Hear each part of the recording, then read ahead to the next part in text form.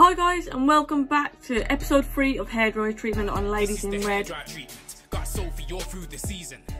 Thank you all so much for joining me again. If you don't know by now, this is how it works. So firstly, I choose three people who I believe deserve the hairdryer treatment, which if you didn't know, that means basically you're talking to, so they've done something bad, almost like a fail of the week. So three people get the hairdryer treatment and then I choose one positive. And at the moment, obviously we're looking at the Euros. So, number one, well, to be fair, this week I'll, I'll be honest, kind of struggled, but I'm going to go with one of the earlier incidents. And he has to go to Immobile. Immobile, what on earth was he doing? Obviously, he's down on the floor, he's rolling around, he's screaming in pain. Italy go on score, and boom, he's cured. He jumps up. That's disgusting behaviour, in my opinion. I mean, rolling around. You know what happens in football, the antics and whatnot. But to jump up the way that he did the second that Italy scored, he was cured immediately. It was embarrassing, absolutely embarrassing. So yeah, Immobile for his theatrics and the way that he was rolling around and screaming in pain that one for me deserves a hairdryer treatment. Get up, get on with the game. Stop play acting, please, please. Now up next, Belgium, as you may be aware, number one rated team in the world, number one ranked, very good squad. Martinez as manager, it just doesn't seem to get them to click. And apparently he's keeping his job on after the tournament, but yet again, they've bottled it. Belgium have bottled it. They fell at the, obviously, is it the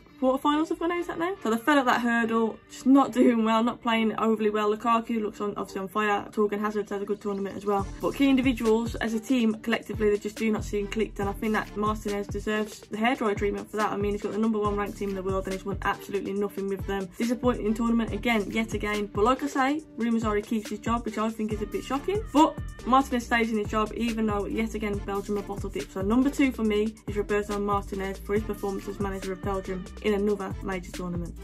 Now in at number three, and I feel kind of bad because I've already used this player once, but Morata, doing Morata things again. So a lot of people playing that Gattuso clip on Twitter saying that he can be really, really good and he can be really, really shit. And I think that sums Morata up, to be fair. He came on, super sub, scores the equaliser, fantastic goal, really composed, calm finish. But then obviously, unfortunately, the penalty that was misspelled to him. And he wasn't the only one to miss the penalty, so I'm going to get that in there as well. But Morata steps up, misses the key penalty, and obviously sends Italy through to the final to face either England or Denmark. Fingers crossed it's England. We'll find out tonight. But yeah, that Morata penalty has to be on there for the hairdryer treatment. And you know, he's gone from hero to villain. I feel really sorry for him. He came on, impacted the game. He also missed a very good chance as well. But like I say, his finish was calm and composed, but then he's gone to miss the vital penalty. Key moments, big players, you want them to step up. And unfortunately, yet again, Morata has kind of stumbled at that, hasn't he? Sorry, Morata. I am. I really am sorry, but you had to make it.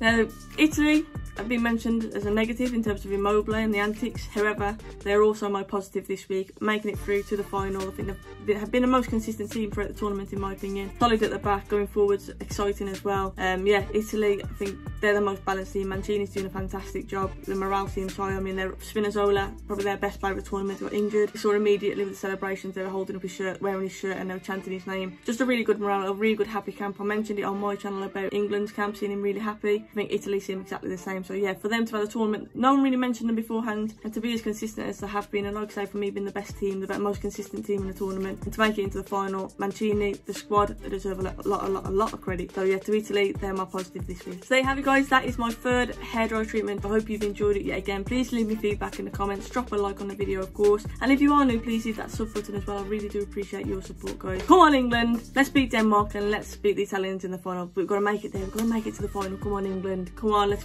bring it home. Take care guys, see you soon.